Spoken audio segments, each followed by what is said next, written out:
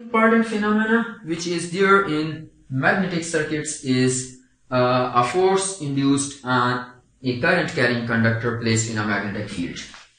So it is observed that when a current carrying conductor is placed in a magnetic field, it experiences a force.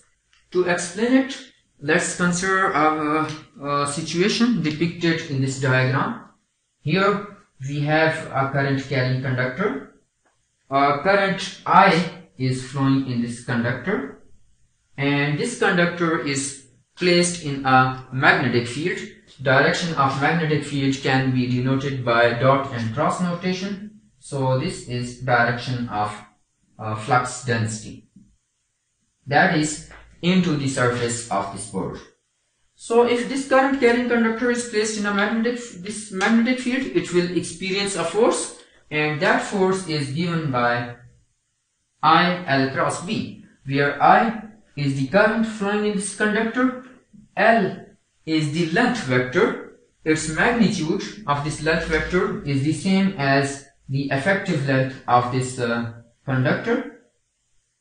This length is L and uh, its direction is the same as direction of current in the conductor. So the length, uh, this uh, L vector is L is a vector whose magnitude is equal to effective length of this conductor its direction is the same as direction of current in the conductor. B is flux density vector and uh, its direction in this particular case is into the surface of board. Magnitude of this force, magnitude of this force is I multiplied by LB sine theta, where theta is angle between vector L and vector B. In this particular case, the angle is 90 degrees. However, this angle can be different than 90 degrees. In that case, uh, it is ILB sine theta. This is the uh, magnitude.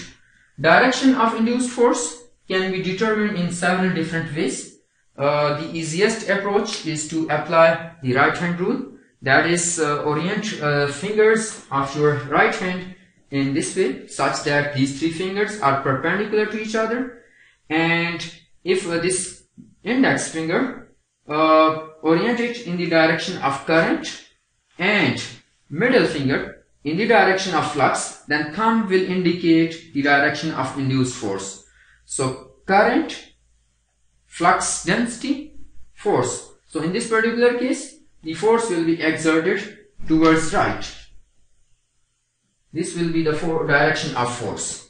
So index finger in the direction of current.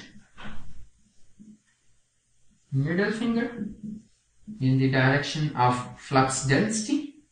And then thumb in the direction of force. This is the right hand rule.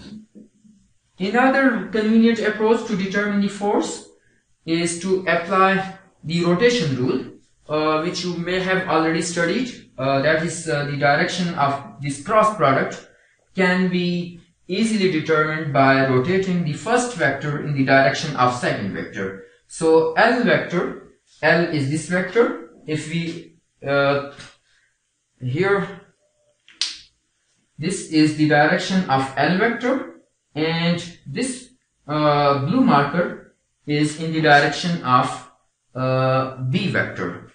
So this direction of flux density vector into the surface of board and direction of L vector in the direction of uh, current.